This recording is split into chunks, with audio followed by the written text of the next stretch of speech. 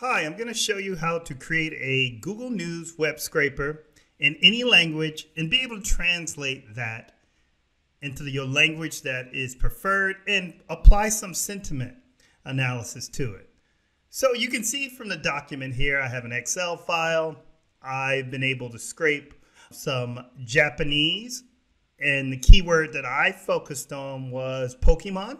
So I was able to extract the Japanese, get some additional fields, plus translate it and create a sentiment. And I'll show you how to do this with some Python code. So let's jump in. So the first thing you're going to do is install Py Google News, which is going to allow you to install that directly into your Colab notebook using the exclamation mark with the pip command also. Then I am going to get the Google News from Py Google News and import pandas so we can do some data manipulation. Then I'm going to create the Google News API. And all I'm going to do is save a variable called gn and use a Google News function. And you can see I'm passing in a language and a country. So for this example, I'm just using English and UK as a country. And I then created a search term here by using that same variable and then doing the gn search by just using the function search with my Google News variable and I'm searching for games. And then I created a very simple loop that allows you to loop through all the entries because let me just show you what you'll have. So if I just use Google News search, and then I use games, and you what I'm going to get is this structure.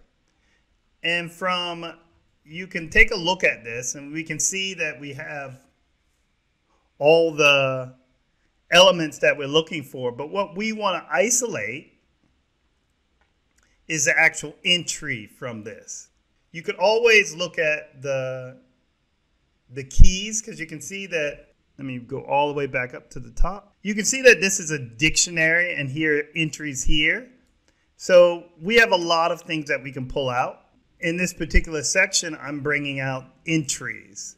So I'm just going to eliminate that cell and then you can see I've isolated entries and then just made a loop to go through and look at all the different news that is related around the keyword games.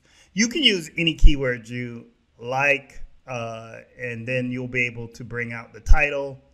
And in this, you can see there's also a dictionary. We have title, we have title detail, uh, there's uh, the language. So there's quite a lot you can pull through that, and you can definitely isolate that uh, the same way we did here. And I'll show you a little bit of an example there. To show you the power of this is to not necessarily use English, and which is my native language. And so I'm going to use Japanese, as we did in the example I showed you in the beginning, and JP, and then I'm going to use the country Japan. And let me just run this and show you what happens when I use a English word games. You will still get a result. So essentially you're getting the English word games within Japanese text. So maybe a great thing that you could do is we could pop over to Google and look for how the word game would be created in Japanese. So what I've done is I've searched for the word game in Japanese, and you can see it's called geimu. So I can copy this Japanese, and this is actually katakana in Japanese, and I can take that word and paste it here.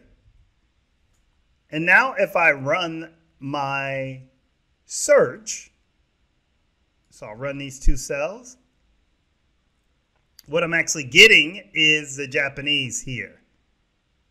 And we can see that word highlighted here.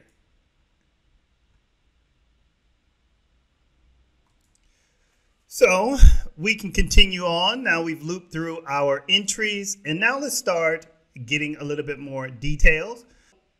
I want to loop through the actual titles now. I've saved my entries as an article variable. And then I'm looping through each one of these entries and isolating the title. And we can see title being isolated here. I've just printed it out. And you can see all the entries and titles here. Now let's create a function that we can apply so we can add any word we want. What we've done is we've initialized a function and we're using the word search. I'm using the Google News function, language Japanese, country Japan. Then I'm using that search to just looking for any term that I apply in this search. I'm saving it as articles to get those entries that we saw. And then I'm looping through all those articles to just pull out the title. And then I found this word is just casino in Japanese. So I put that there.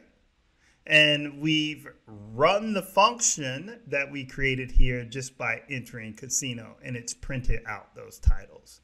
So let's keep going and making this a little bit more interesting. Next, let's create a dictionary so that we can get the, let me change this, the date of publish link and title because we saw that that entry had a lot of information in there and I've made this function a little bit more robust. So I thought it was a little better to put keyword here because it was a little bit easier to see. I've created an empty list called news. I've used that Google News function to isolate language Japan and country Japan. I've searched the keyword that I'm looking for, isolated the entries, looped through each one of those articles, and then I've, I've used a dictionary to bring back the title, the link, and the publish date. And I've appended everything that I've found in each one of those, because you know that comes individually, to this empty news list. And then I return news. And this word is Pokemon in Japanese.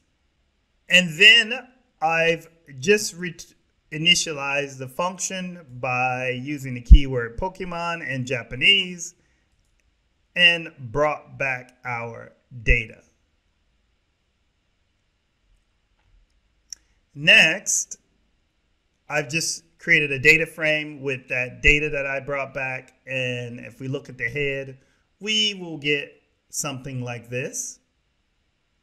So obviously you know, your user's not going to understand all this. So we need to translate it into the language that we desire. So we're going to use text blob for our translation. So I'm just going to get text blob. So from text blob, you get the text blob um, functions.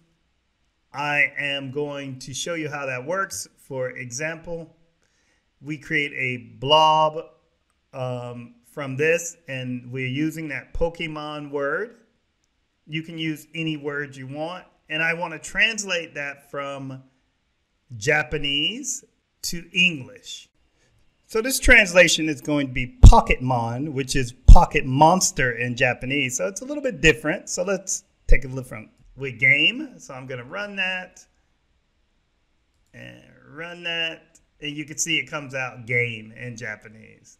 You sometime with names, the translation doesn't work that well, but it it if you're using the Japanese word, it's kind of okay because it works most of the time. If we use game here as our translation for our blob, but we're going to use a bigger blob because this is just one word. And of course, we want to create a function. So let's create a function to bring back the sentiment and the translations. So we're going to create a function. We're going to pass in some text. we're going to use that text blob function to isolate that text. And then we're, we're going to return a string, which I've used string here. And the blob is going to translate from um, Japanese to English as we did here. Next, you're going to use sentiment, also part of the text blob library. So we're going to use text blob to pass in that text, return sentiment, and we're going to return the sentiment polarity. And the polarity is going to just give us whether it's positive, negative, or neutral. I am going to apply these functions on a new column. So I created a new column in my data frame translation and sentiment. Those columns weren't there in the data frame before. And then I applied those two functions. And what we get is here, we'll get we'll get a translation. So you can see it, uh, the translation worked for Pokemon here. So you can see Pokemon home, and these are the translations. Here's the Japanese, and the new columns we have our translation and sentiment, which is quite cool. And we have the link in the publish date, create a class using NumPy. So I've created a new column called sentiment class, and where the sentiment is below zero, I want the word negative where it's uh, greater than zero, I want positive, and then here I want neutral. We run that, and then we'll get our class. So we have positive, negative, and neutral. So we can use the value counts function to see what our distribution of positive, negative, and neutral is. I wanted to just format the dates and kind of sort by the date. And then finally, in our Google Colab, I want to export this out into an output file where I can kind of evaluate this. And that's what we have here, where we've taken that particular information and scrape Google News, turn that into a translation with the sentiment class, all with just some quick and easy code. So if you like that quick tutorial, please subscribe. Leave any questions below. I'll put a link to this Colab code so you can evaluate it. Please try any of the, the techniques that you saw here and share them. It'll be quite interesting to see what you guys get up to. Thank you.